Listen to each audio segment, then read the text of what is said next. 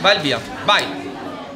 Quello che ha fatto Giuliano Ferrara, come alcuni giornalisti del nord, sempre del Piemonte, dove qualche mese fa il giornalista della RAI ci insultava e ci faceva insultare in televisione, sono purtroppo dei gesti non solo vili, ma dimostrano una arretratezza culturale notevole.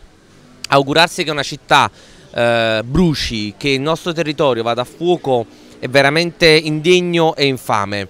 E noi dobbiamo reagire con forza per l'ennesima volta ricostruendo invece la città e ricostruendo il nostro territorio. Denigrare la nostra città, il nostro territorio, la nostra regione è veramente un gesto infame, ancora più infame se lo fa un giornalista come Giuliano Ferrara. L'unica cosa che si dovrebbe augurare di bruciare rapidamente sono i grassi in eccesso che lui ha. Abbiamo fatto il tentativo di utilizzare appunto il foglio per piegare la pizza, la classica pizza napoletana, ma purtroppo ahimè non riesce neanche ad avvolgere la pizza. Sono solidale, è difficile superare il momento ma comunque si supera.